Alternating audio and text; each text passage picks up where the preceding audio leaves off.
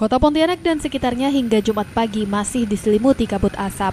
Melihat kondisi ini, sejumlah relawan pemadam kebakaran swasta dan relawan komoditas menggalang pengumpulan masker untuk dibagikan pada masyarakat. Pembagian 10.000 masker yang dilakukan di sejumlah titik dilakukan untuk menyasar pelajar, mahasiswa, dan para pekerja.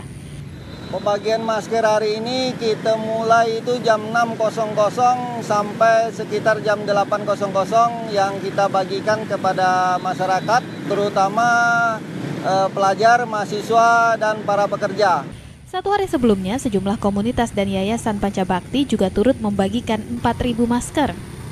Uh, hari ini kita lakukan pembagian masker sebagai inisiasi awal ya uh, dari Lion Club bekerja sama sama yayasan ini pemadam kebakaran Pancabakti. Kita hari ini membagikan sekitar 4.000 buah masker di sini.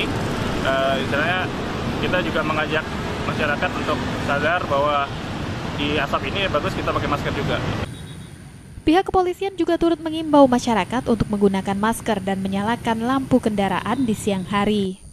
Dan saya juga selaku Kasat Lantas Polres Pontianak Kota menghimbau kepada masyarakat apabila melakukan aktivitas luar, tolong perhatikan kecepatan, kemudian nyalakan lampu utama siang maupun malam hari untuk keselamatan agar tidak terjadi laka lantas.